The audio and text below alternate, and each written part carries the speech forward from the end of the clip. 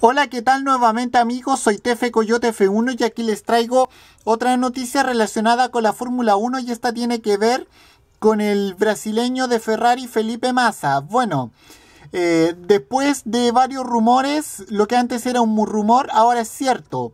Felipe Massa se retira de la Fórmula 1 a fines de este año, a fines de 2016, cuando termine la temporada actual. Eh, Felipe Massa dejará la Fórmula 1 después de muchos años en, la categoría. Y bueno, eh, eh, como sabemos, nadie va a renovar su contrato y Felipe Massa finalmente se va de la Fórmula 1 cuando termine la temporada actual de la Fórmula 1 2016. Y bueno, como sabemos, Felipe Massa debutó en la Fórmula 1 en el año 2002 con el equipo suizo Sauber. Eh, y en su segunda carrera anotó sus primeros puntos.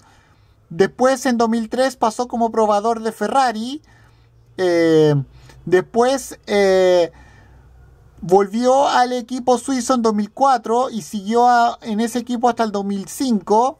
Después se cambió a Ferrari en el año 2006 y logró eh, durante 8 temporadas 11 victorias.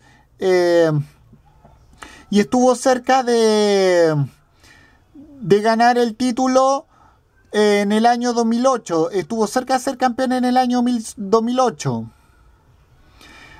Y fue el piloto con el que más tuvo con el equipo italiano después de Michael Schumacher.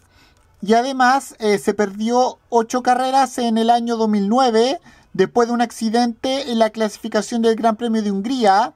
Después pasó al equipo Williams en 2014 terminó sexto en 2015 y, y actualmente es, es el noveno en la en la en esta temporada 2016 y bueno eh, después después de mucho tiempo Felipe Massa ya no sigue más en la Fórmula 1 así que le deseo un feliz retiro y felicitaciones por sus 11 victorias que ha logrado sobre todo en el equipo Ferrari y bueno, con esto me despido. Nos vemos en otro video. Adiós, Cami fuera, chao.